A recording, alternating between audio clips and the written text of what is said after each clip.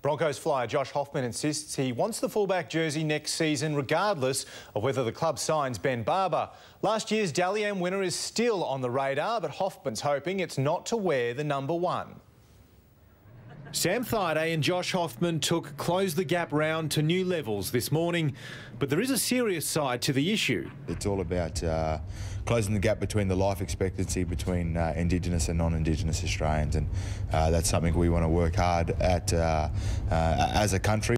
With Torres Strait Island heritage, Hoffman can't wait to wear the specially designed jersey on Friday night, particularly with the number one on his back. I'm still uh, trying to adjust, uh, coming back from the wing to fullback, uh, trying to get back into, um, you know, trying to find my feet again. Brisbane remain undefeated with Hoffman at fullback, and he wants the position next season, even with Ben Barba and Anthony Milford in the club's sights. I believe that, um, you know, I, would play my best footy at number one, but at the same time, you know, if I get put at the wing, then, um, you know, it's head down, bum up.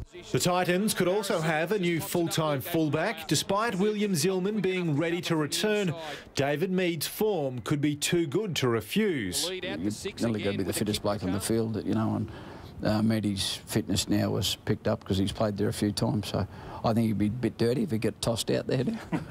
Mead wasn't the only thing assistant coach Trevor Gillmeister was keen to promote.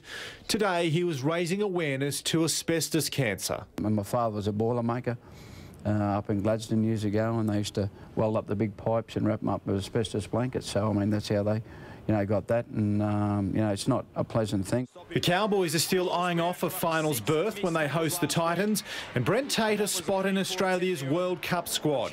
It'd be great redemption after the horrors of his last game in the green and gold.